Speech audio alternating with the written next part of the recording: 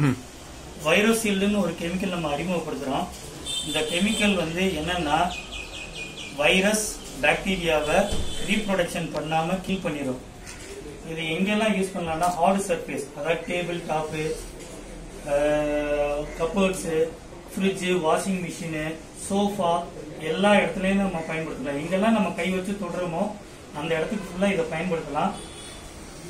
இது வந்து நானோ copper technology இது வந்து காப்பர் டெக்னாலஜி யூஸ் பண்ணி பண்ணியிருக்கிறதுனால இது டிரான்ஸ்பரண்டா ஒரு லேயர் மாதிரி ஃபார்ம் ஆகும் அந்த நம்ம டச்சபிள் சர்ஃபேஸ்ல இது எப்படின்னா போனுக்கு எப்படி டெம்பர் கிளாஸ் இருக்கோ அதே மாதிரி இது கெமிக்கல்ல ஃபார்ம் ஆகிடும் இந்த கெமிக்கல்ல ஃபார்ம் ஆன பிறகு நம்ம அப்ளை பண்ண பிறகு முப்பத்தஞ்சு நிமிஷத்துல இருந்து ஐம்பது நிமிஷத்துக்குள்ள இது காஞ்சிடும் காஞ்ச பிறகு நம்ம யூஸ் பண்ணலாம்.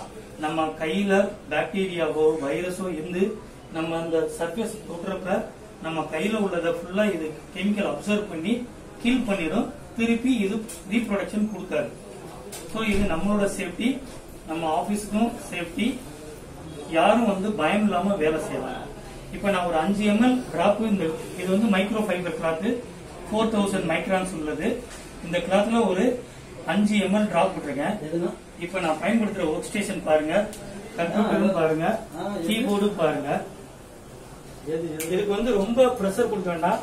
ஜென்டில் வைப் ஜென்டில் வைப் கொடுக்குறப்ப இது ஃபுல்லா சர்ஃபேஸ்ல படிஞ்சிருது. ஸோ இது வந்து இந்த டிரான்ஸ்பரண்ட் நீங்க பாத்தீங்கனாலே அந்த கிளாஸ் கோட்டிங் வந்துட்டு இருக்கு. இதை பார்த்துட்டீங்கனாலே உங்களுக்கு தெரியும்.